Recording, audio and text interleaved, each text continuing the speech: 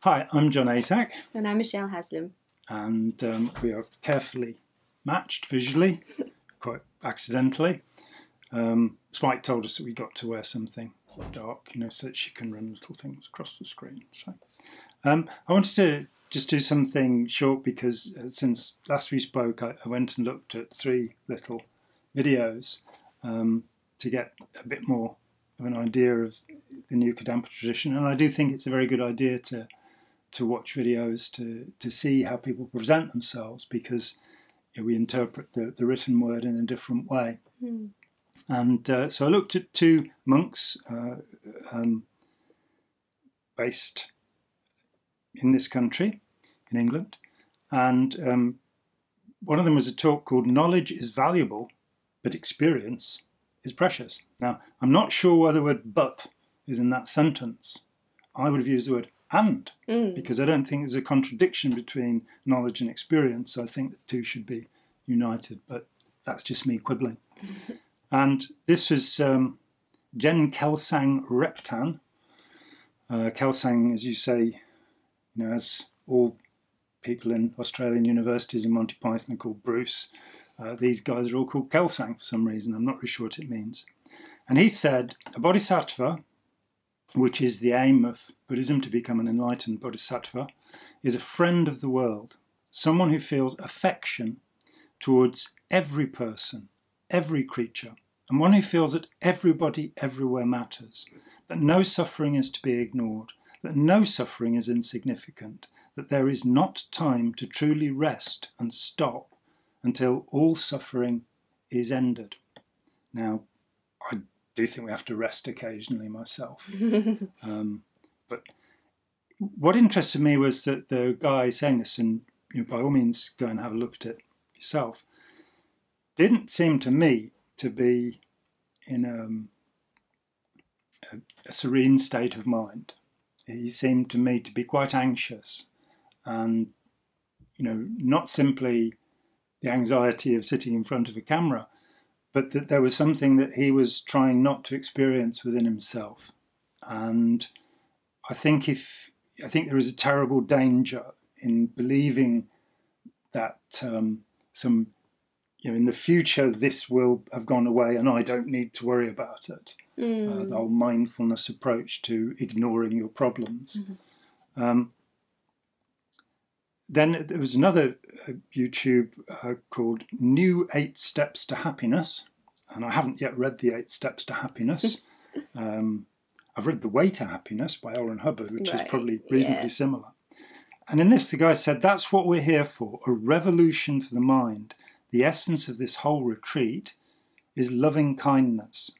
And finally, um, Geshe Kelsang Gyatso himself, um, who I think he called Geshe-la, is that right?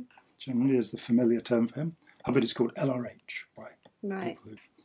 Um, through our ignorance, we engage in actions that cause suffering. He then says, very like Buddhism. And I, I didn't really quite get what that was Mm. about. Uh, encouraging, I think he was perhaps suggesting that New Kadampa tradition is very like Buddhism, which uh, is a bit odd. Yeah, it's a bit, yeah. But whatever, encouraging people you should love each other, help be a good person. Now, putting aside the kind of Yoda way of saying that, Yeah. the reason that I put these things down was that, that you're certainly receiving, have received a certain amount of negative attention Yes, you could say so. from NKT, Yeah. which is completely, you know, if this is their intention, a bodhisattva is a friend of the world, someone who feels affection towards every person, every creature. This is not true. This is not what they're doing. This is a pretense. Mm. And I just wanted to underline that.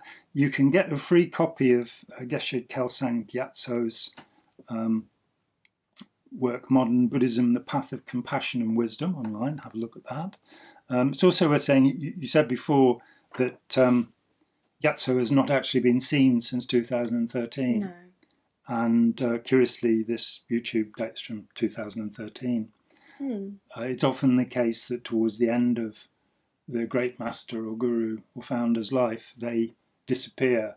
Um, with Rajneesh, of course, he took so many drugs that he couldn't talk anymore, so he pretended publicly for years that, that he had a vow of silence, but actually Wow. would sit and chatter with Ma Anand Sheela and tell her what crime to commit next. Mm. Um, Ron Hubbard appears to have gone through a period of dementia, and so that Gyatso is not appearing, not even on, on film, not even from the security of his own. No, and I, I think um, most people were uh, quite alarmed by the recent video um, where they were opening the temple and um, they've asked followers to talk about how he is really there in their hearts and minds. The elephant in the room being that he's not there. That there's no elephant in the room. yeah, and um, I think that was to control the narrative. Mm. Um, yeah, or to say it doesn't matter. You know, he's not really abandoning us, or you know, we're not really lying to you because he can be in your heart and your mind, so it's okay. Um, yeah, so most ex-members, some believe that he has actually died already quite a while ago, possibly.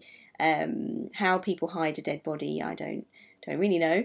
Um, Depends what country you're in. If you're in Tibet, you chop them up and feed them to vultures. mm, That's I the wouldn't- traditional funeral. Yeah, I mean, yeah. So, but I mean, most ex-members seem to believe that um, he's yeah suffering from dementia, and Mm. therefore he wouldn't be able to be seen in public because um, that would lead people to lose their faith in enlightenment and him being an enlightened being. Mm. Apparently, they're not supposed to get degenerative diseases. No, well, the, the Book of the Great Decease um, um, puts forward the idea that if Ananda had asked the Buddha to live forever, he would have done. Mm.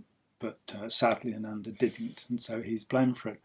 But um, you know, to, to to burst any myth about the uh, physical health of such a person, um, the the the Buddha appears to have, have died uh, having eaten tainted meat. Mm. That, that's uh, what we're told. Um, so, and and it's despicable this notion of the perfected being. To me, that that that was not what the Buddha was was teaching, as I understand it. He was teaching a path to um, serenity and enlightenment, but he was not teaching immortality, No. you know, which is much more of a sort of Chinese Buddhist tradition.